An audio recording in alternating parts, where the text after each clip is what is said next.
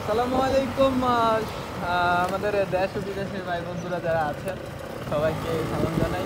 আশা করি তো আপনারা ভালোই আছেন, আমরাও ভালো আছি অনেকটা। অবশ্যই দেখতেছেন, আমরা একটা ছোট একটি স্কুটারে আছি।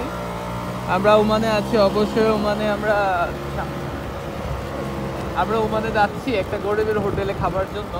ওমান সুইক আপনার সরমত নামে একটা জায়গা নামক স্থান আছে, ওই স্থানে একটা গরিব নামক একটা হোটেল আছে, গরিব হোটেল বলে এটা কথা। সবাই চিনে এটাকে আমরা চিন্তা করছি আজকে কাজের পাকে যে লাঞ্চ করব, আমরা ওইখানে করব। কারণ হচ্ছে আমরা ওইখানে যাচ্ছি।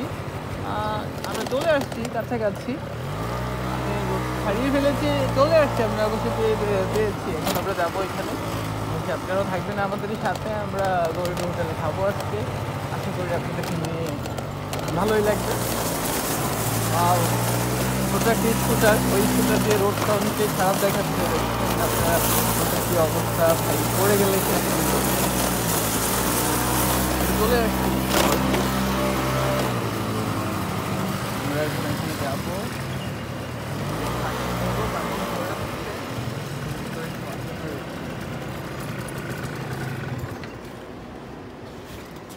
আমরা যাব।